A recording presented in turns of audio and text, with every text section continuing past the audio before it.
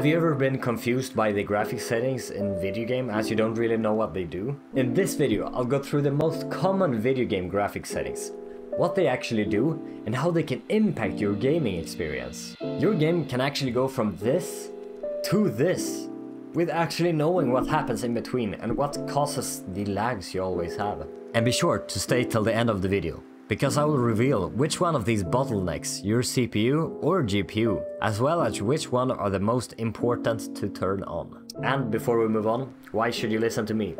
Well, I'm a professional engine programmer specialized in graphics with over a decade of experience in the game development, so I kinda live, eat and breathe graphics programming. The first thing I want to mention in order for everything moving forward to make sense is the difference between CPU and GPU processing, as well as their respective storage usage.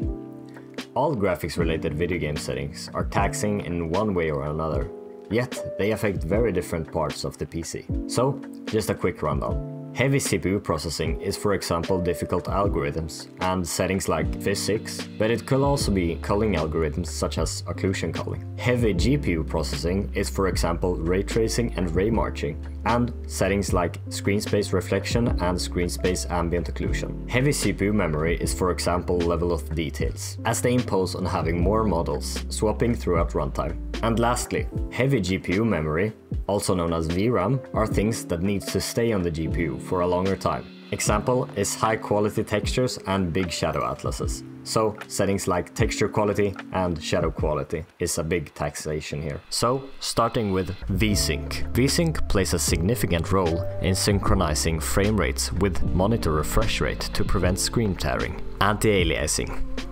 FXAA, SMAA, SSAA. Anti-aliasing techniques smooth jagged edges in games. Think of it like Minecraft.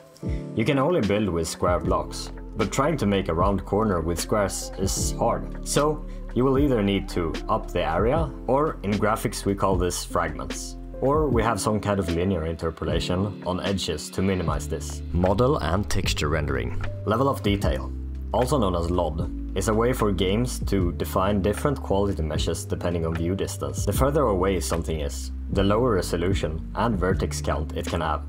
And sometimes it can just be rendered as a quad, also known as an imposter. Texture quality and anisotropic filtering. Higher texture quality and anisotropic filtering enhance texture detail and sharpness, primarily impacting GPU performance by increasing VRAM usage, because the texel density of the texture is higher. Therefore, VRAM usage goes up. Anisotropic filtering is just a cool way of sampling texels that are very small to the view, so it doesn't look glitchy. Tessellation. Tessellation adds geometric detail to primitives, such as adding vertices, to make lower quality models look higher quality with more vertices. However, it can impose a substantial workload on the GPU due to increased vertex processing. Post-processing effects.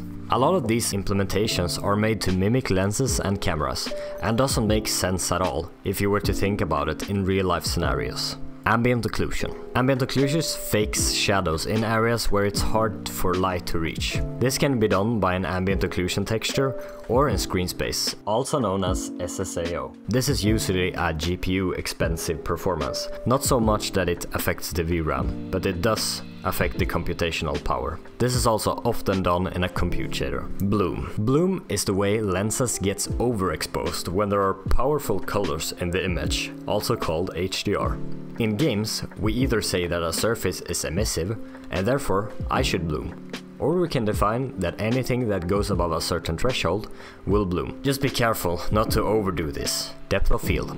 This also mimics the lens of a camera, where you can set a focal point and everything before that and after that gets linearly blurrier. Motion blur. Turn it off. Lens flare. Okay, I will say what motion blur is. Motion blur. When motions are happening in your view, you get an image with velocity vectors, also known as temporal. We then use this temporal value to blur the current frame, resulting in blurring more if we move around the camera more. Lens flare. Lens flares are those shiny, glowing effects you sometimes see around bright lights like the sun or lamps. They happen because light bounces around inside a virtual camera lens, creating those streaks or circles, also known as bokeh dots. Usually lens flares doesn't take a lot of processing power to, but it could be done in both a CPU and a GPU scenario, so it's hard to tell. Shadow quality and screen space reflections. These features primarily impact GPU processing power. But for shadows, VRAM is taking a big hit here because of the huge atlases. Shadow quality usually just softens the shadows and amp ups the texel qualities of the shadow map atlas, while screen space reflections usually just go from being actual screen space reflections to having like a cube map reflection and jumping between fake in-betweens. And it could also be like real ray traced. DLSS, XESS and FSR. Or we usually just call these frame upscaling or frame generation steps. Advanced techniques like DLSS utilizes deep learning AI and smart algorithms to upscale low resolution renders and improving performance without any significant loss in visual quality. If we look at DLSS, it actually used so-called tensor cores, or DLSS cores, whilst FSR is just an algorithm that does similar job but without the help of AI. Moving on to global illumination. Global illumination, or GI for short, are techniques that simulate realistic bounce lighting interaction within a scene, significantly enhancing visual quality. And this time I'm, I'm saying significantly because it's significant and it's because I love lighting and it's the fucking coolest thing ever. However, global illumination is known for taxing GPU and CPU power because of the huge amount of work needed for it to work. Global illumination settings, when you turn it from low to high, off is probably just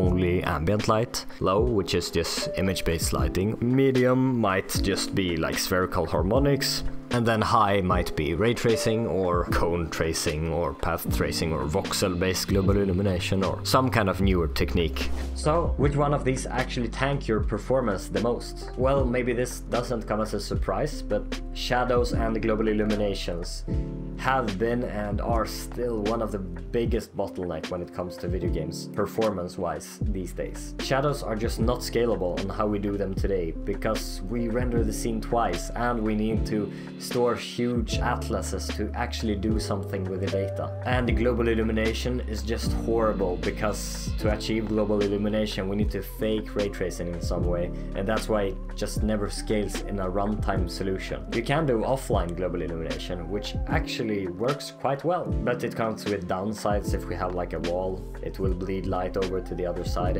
and we cannot really solve this without doing a runtime solution nowadays. But with graphics cards getting better and better, we can see that ray tracing solutions on some specific things aren't that bad today. One thing that you might not really think of when you say bad performance is anti-aliasing. And that's if you don't know the tech behind it, you don't know that it's like rendering your scene twice or four times. Instead of rendering 9020 by 1080 pixels, you're rendering that, but then also halving it, or doing quarter pixels, or doing 8 pixels or fragments. And that's just so much more data that is just not scalable at all. And the last thing that actually tanks your performance without people thinking about it it's actually post-processing effects. Usually when you think of post-processing you think of only the screen. So screen space ambient occlusion and screen space reflections, even though they're screen space and post-processing post-processing effect, they're really heavy, really really heavy because we're ray tracing things. So try to avoid a lot of the post-processing effects and it will actually do a lot of help for you. And for the last question which I want to answer, which one should you enable if you want the most FPS in your game? Well, the newly added FSR DLSS solutions are really cool when it comes to a game programmer's perspective, because I can see that this is actually what we need AI for. So, although FSR isn't really AI, we can put it in the same category because it's doing almost the same thing, but not on an AI basis as DLSS. If the game supports DLSS or FSR, enable it. The amount of FPS you actually gain is so significant to the amount of little detail you lose in the image. And remember, a lot of these settings aren't viable if you don't run the correct graphics API and the game doesn't support it.